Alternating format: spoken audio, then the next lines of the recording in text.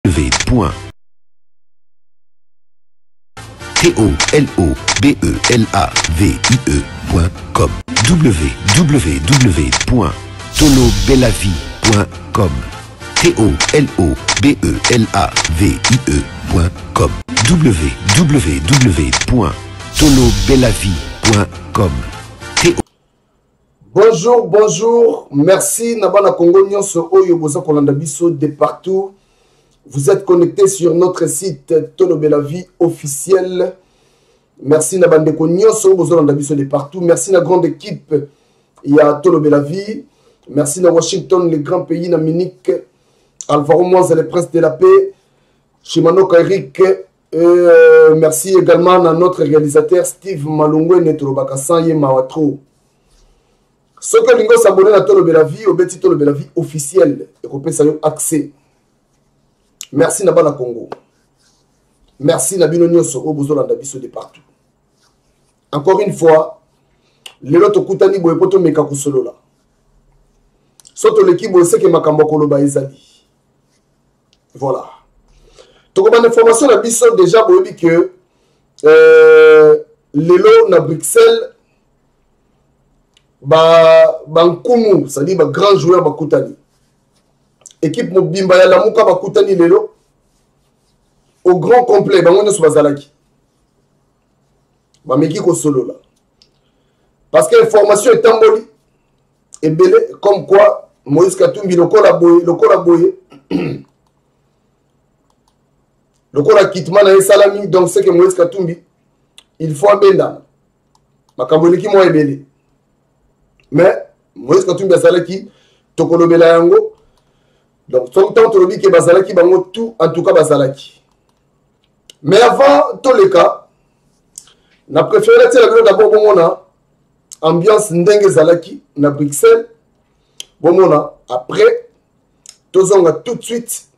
tomeka sikoyo kobeta mwa lisolo boeskise biso mpona kalite ya image mais toana shoi te bomona kaka bongo donc euh, tolanda yango biso nyonso na bino tomona comme ça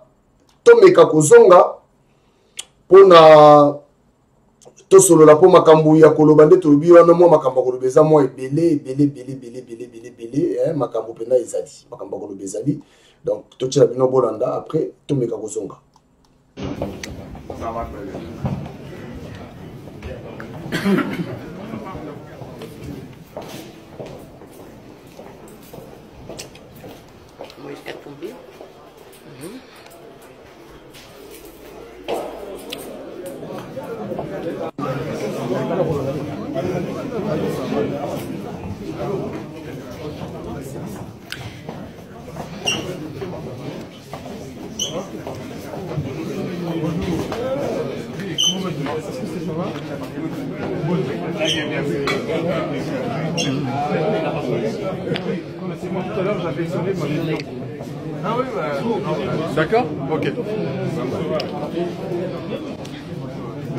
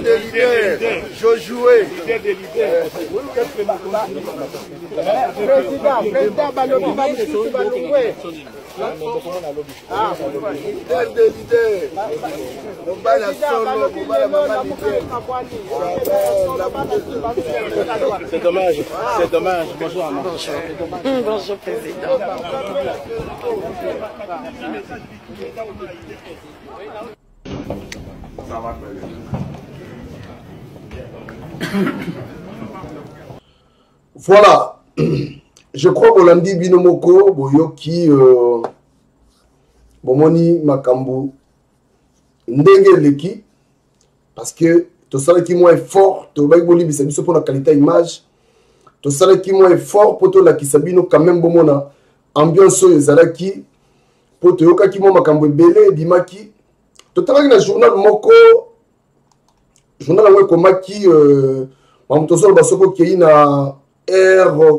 congo news okomona yango donc ke moïse katumbi asali déclaration moko c'est à dire moïse katumbi réagit sur euh, son acquittement alobi euh, ce n'était pas grâce à félix tshisekedi nde ye aza libre lelo donc félix tshisekedi eza grâce na ye te nde moïse katumbi aza libre donc alobi euh, alobi boye ils ont fait ça pour me gagner donc bango basalaki yango mpo baganye ye mais moi je ne soutiens jamais le mensonge ake plus loin alobi bino nyonso tu boyebi ke moi je soutiens martin fayulu e alobi lisusu euh, moi j'avais pas de problème avec la justice Mais tellement Kabila avait peur de moi, c'est pourquoi il a inventé des accusations mensongères. Ce n'est pas grâce à Félix Tshisekedi que je suis libre, mais grâce à la justice. Ce qu'on a Air Congo News au Komona Yango. Donc, moise katumbi alobi akitima na ye ezali mpo na félix tshisekedi te alinga rappeler bato ke joseph kabila avait peur de lui yango omoni bainventaki makambo c'est-à-dire bamontaki makambo de toute pièce mpo na ye epuis alobi ye akoki jamais kosoutenir bato bazotambola na lokuta na mensonge alobi ye asoutenaka martin fayul soki na air congo news okomona makambo tozoloba donc yango amoni lelo moïse katumbi ye moko en personne amonani na bandeko oyo ya ye mpo na bameka kobeta kati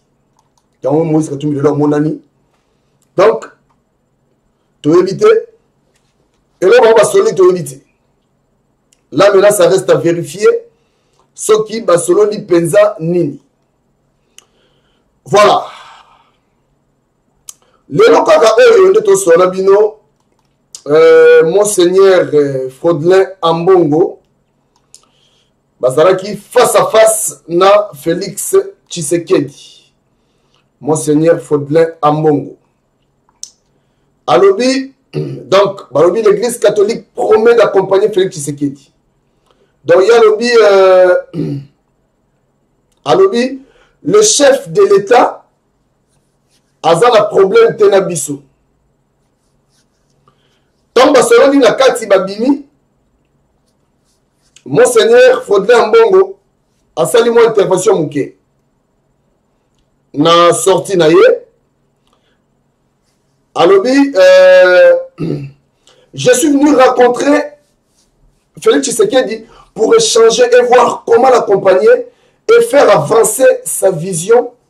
pour le bien-être du peuple donc aye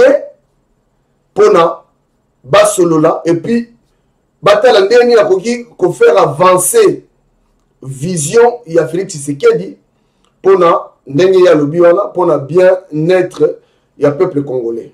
rappelons tout de même que l'église catholique avait dès le départ par la voix de la conférence épiscopale nationale du congo euh, contesté l'élection de félix tshisekedi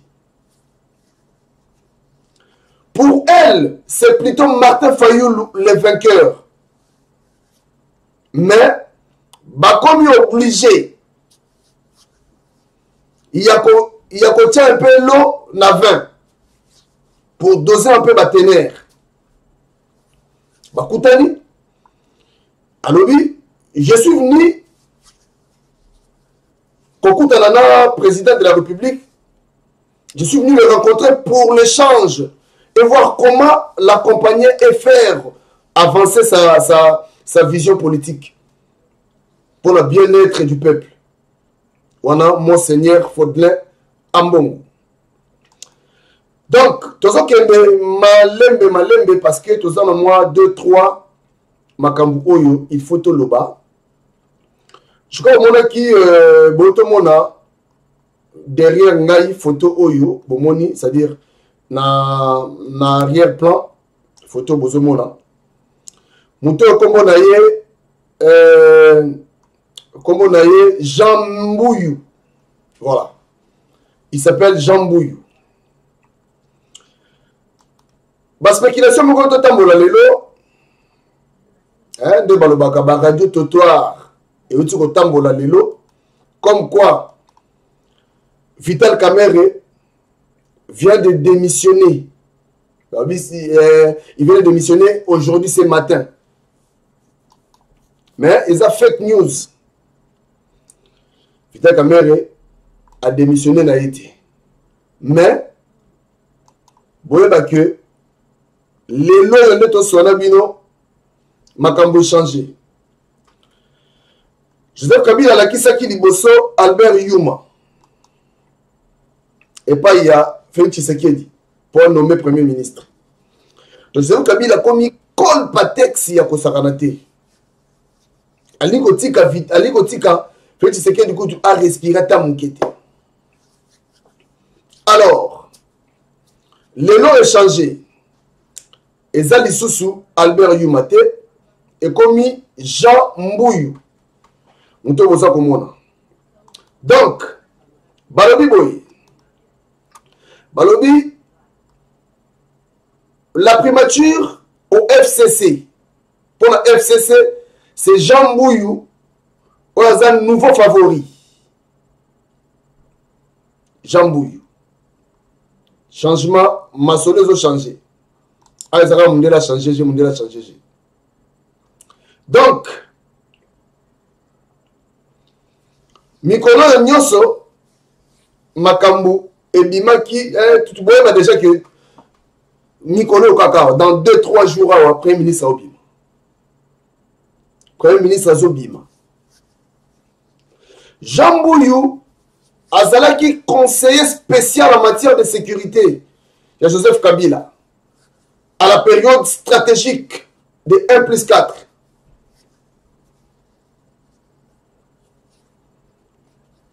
donc il a travaillé déjà na joseph kabila azalaki conseiller spécial en matière de sécurité tolobi bien lelo oyo azobima lokola c'est-à-dire na minute oyo boyeba que j'ai changé numéro 1 numéro 2 jambouyu donc bakombo oyo eza likolo ya mesa ya euh, ya felix tshisekedi eza bakombo bato mibale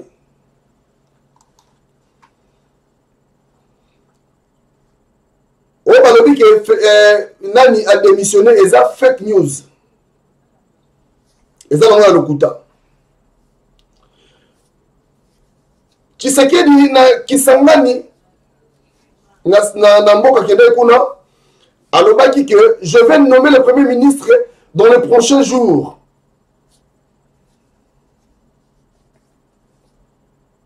mais lelo soki otali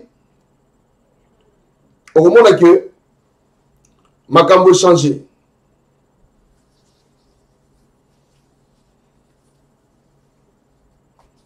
makambo tout echange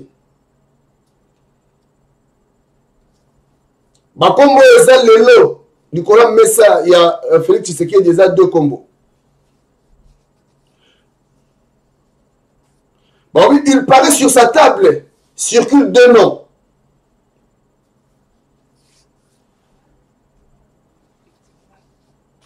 premier nom c'est le nom de vital kamere et jean bouillou sikoyo normalement soki otali bien okomona ke vital kamere nde moto akozala parce que soki otali bien omona ke na, na, na baélection tout cash basali fufu ya kosakana te babeti bapoto yango omoni mama premier ministre oyo ebandi kowumela parce que kashe ebeti bapoto mpo fcc aza envahi ya kosakana te bavimbani ya kosakana te partout fcc sikoyo esengaki nini esengaki stratégie ya sika donc na bakombo nyonso mibale kombo oyo ezolakisa ke ekoki kozala bakoki konome balobi ekozala mingi mingi nkombo ya vital kamere yango omoni fake news etambolwa vital kamere adémissionné na poste na ye ya direcab eza nango lokuta voilà bandeko na ngai bana congo information yango wana likambo ya premier ministre oyo etamboli ya kosakana te elongwe oyo oyo te elongwe oyo oyo te elongwe oyo oyo te lelo quand même boyeba ke en tout cas kolala kolamuka nkombo ya premier ministre ezobima nkombo ya premier ministre eza kobima kaka na kolala kolamuka awa omwa mpe ntango mosusu kaka lelo kaka mpe bimi mpo na miniti oyo eloko eloko oyo ekoki koempeshe nkombo wana eza esu te nkombo wana deja na miniti oyo nde eza boye donc ekoki kobima na kolala kolamuka nkombo ya premier ministre toza deja na premier ministre voilà un peu information tozalaki nango oyo esengaki toleka mpo tomeka kosolola to koexplike bana congo tokokabola biso na bino na maloba ya felix tshisekedi oyo alobelaki bana copo deya tokotyela bino bazi lolongo après bazi nde tokotyela bino felix na maloba oyo ye alobelaki maintenant avenir ya lamuka eza ndenge nini je crois bomoni babimi na esengo parce que makambo oyo ezalaka tozoyoka be koyoka o oh non kutu na minute oyo baza na baméchant banani kutu baza ya kosilika banani baza kosilika mais soki otali omona ke bato babimi na basourire elingi koloba nini toza kozela parce que avenir alamuka mpo soki otali bien na esprit ya bien lamuka eza parce que normalement fallait koma parti politique so otali bien opposition etikali na maboko na bango ah oui parce que idps na minute oyo bakoma parti oyo eza na pouvoir alors aza na bato oyo baza kosopose na bango donc parti c'est-à-dire bato oyo batikali na, na, na, na, na vraie opposition eza bato oyo balalamuka epuis eza très important parce que soki bino batalamuka lelo oyo bomi na bino kebokabwana boyebake botie peuple congolais na mpasi ya kosakana te so bino lelo oyo nde bovandi wana bondimi na bino lelo mpenza ke non en tout cas mwana na mwana asala nzela na ye boyeba ke botie peuple congolais na difficulté moko ya kosakana te tozozela nde balobi un de ces quatre awa kolala kolamuka premier ministre azobima tozozela totala premier ministre koyaka kolamuka tozala tomona gouvernement mais boyeba ke lokola déjà fcc parce que eza, eza, eza affaire accord lokola fcc baza déjà na majorité partout bokomona mpe baministre ebele ya fcc bakobima na bango bakobima eza mpe likambo kokamwa te mpo déjà mariage oyo fcc na cash basali eza babengi donc basangani yango mo tolobi ke la vraie opposition etikali kaka moko oyo ezali ya oyo eza ba, ya batalamuka joseph kabila col patex aokontrole masolo na ye aa besoin te bakanga ye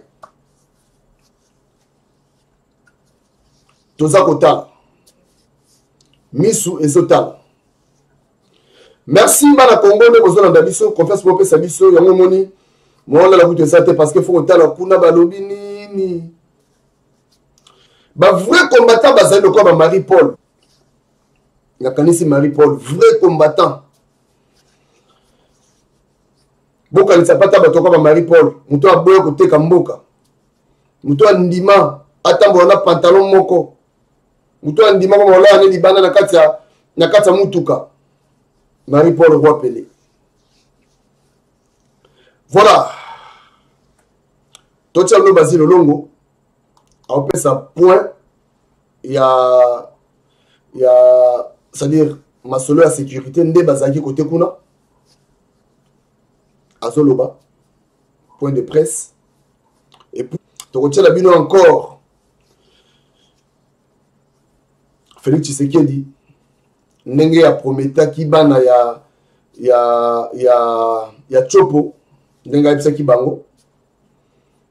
ndenge asololi na bango ndenge ambiance ezalaki mpona nao bazi lolongo après totyei bino félix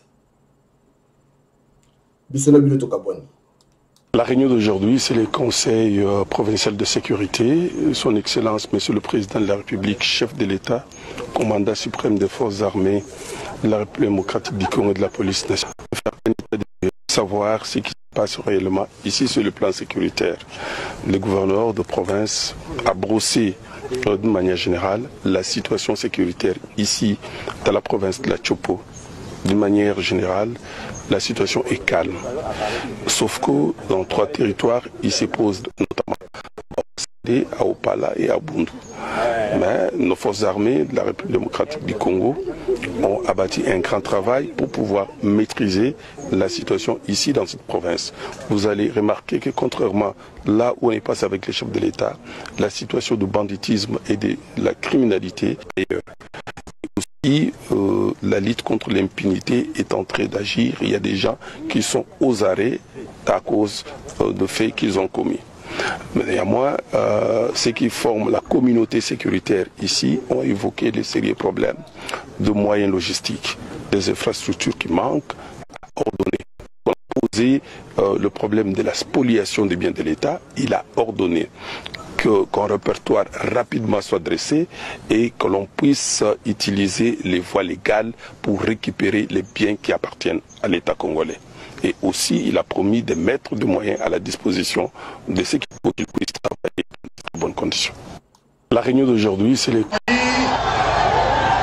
likambo ya pont oyo office de route awuti kosala pont oyo emonisaki bino mpasi mingi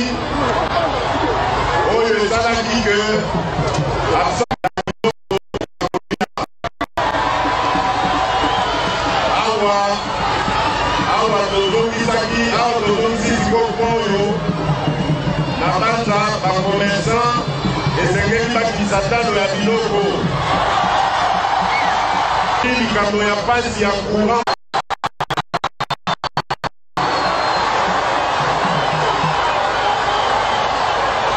boyeba ke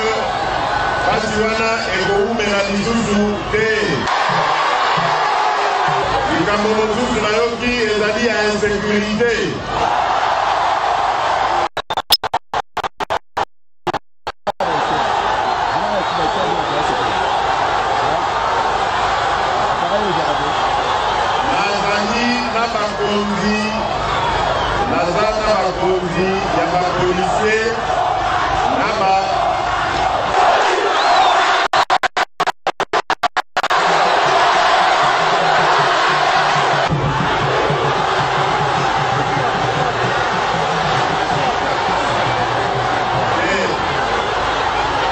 soki binde bakoremplace bakotya bino na insécurité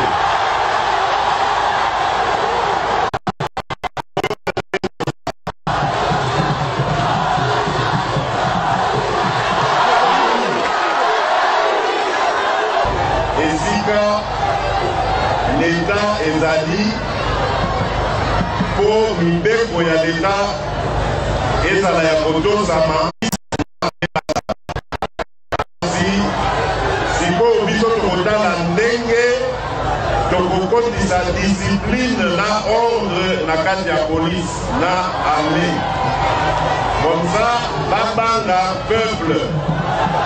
bazali wana mpo na kobate te bazali nde mpo na kokundisa monguna ya peuple bakoki kosimba bana mboka te bakoki kosimba peuple te nayokaki sango ya mawa ya ndeko ya mwasi oyo azwaki masa moko amibomaki mosusu akangemi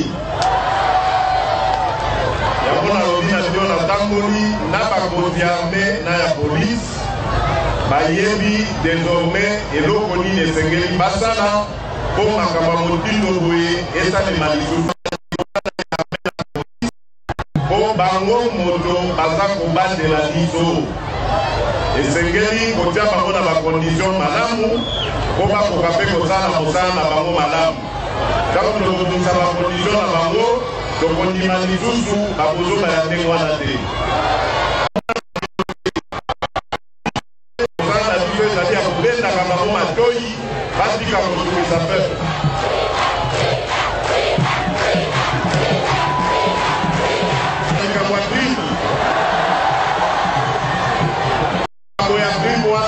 Tala o malamu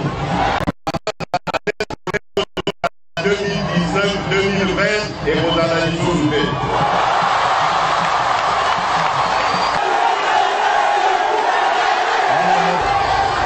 Objectif na biso ezali kotonga ba axe nyonso oyo ebebaki Tokolongola mpe ba barrage wana ya motindo na motindo oyo ezali na nzela oyo ezali koyiba bakongo wana deja motindo esepesami donc baservice oyo eza koyoka ngai Bokeli bibo mitindo esi epesami bakanga bango nyonso baza kotya babalani na ngai. Natiki bino esengeli na kontinue na misala na ngai.